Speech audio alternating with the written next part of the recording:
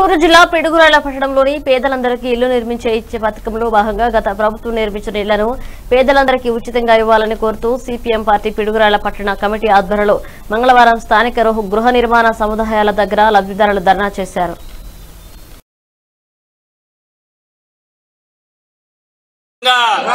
ఇవ్వాలి. ప్రభుత్వం నిర్మించిన ఇళ్ళను పేదలందరికీ ఉచితంగా ఇవ్వాలి. పేదలందరికీ అర్హులైన పేదలందరికీ ఇళ్ళను ప్రభుత్వం నిర్మించిన ఇళ్ళను ఉచితంగా పేదలకు.